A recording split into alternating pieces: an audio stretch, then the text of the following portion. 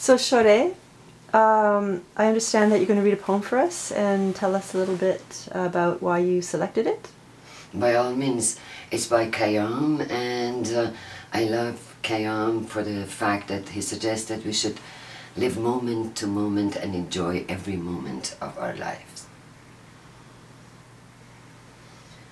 اسرار ازل را نه تو دانی و نه من وین حل معما نه تو دانی و نه من هست در پس پرده گفتگوی من و تو چون پرده برافتد نه تو مانی و نه من Eternal secrets are not for you and I to share. Cryptic letters are not for you and me to read. Behind the curtain there is a muffled discussion of you and me.